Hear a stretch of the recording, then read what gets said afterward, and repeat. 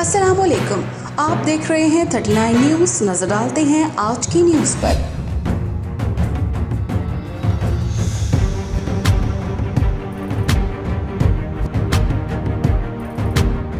तफसीलात जानते हैं अपने नुमाइंद से।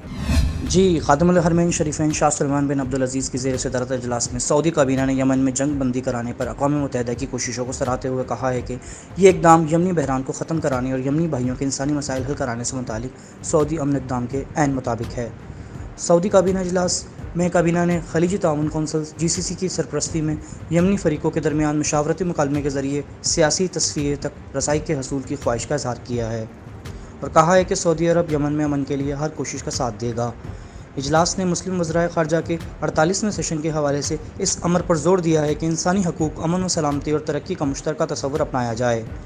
इंसान खुद मुख्तारी, अंदरूनी, अमूर और में अदम मुदाखलत और उम्मत मुस्लिमा को दरपेश चैलेंजों से निमटने के लिए तहत युगानिगत की पॉलिसी नागजीर है। Mohammad Adeel, thirty nine news, Jeddah, Saudi अरब। अहम इश्यूज़ हों या मुल्की और गैर मुल्की शख्सियात की प्रेस कॉन्फ्रेंसेस।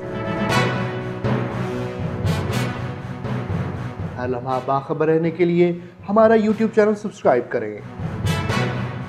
बावसूख ज़राए से मुसदा खबरों, तजियों और तबसों से मुस्तफ़ होने के लिए अभी हमारी वेबसाइट को विज़िट कीजिए। इसके साथ साथ आप हमें फेसबुक पर लाइक और फॉलो भी कर सकते हैं। इसके अलावा हर टाइम ओवरसीज़ पाकिस्तानियों के हालात और मसाइल के हल को जानने के लिए हमारी ऐप भी डाउनलोड कर सकते हैं। हम कर रहे हैं आपको हर लम्हा बाखबर, क्योंकि है 39 न्यूज़ पर आपका एतबार।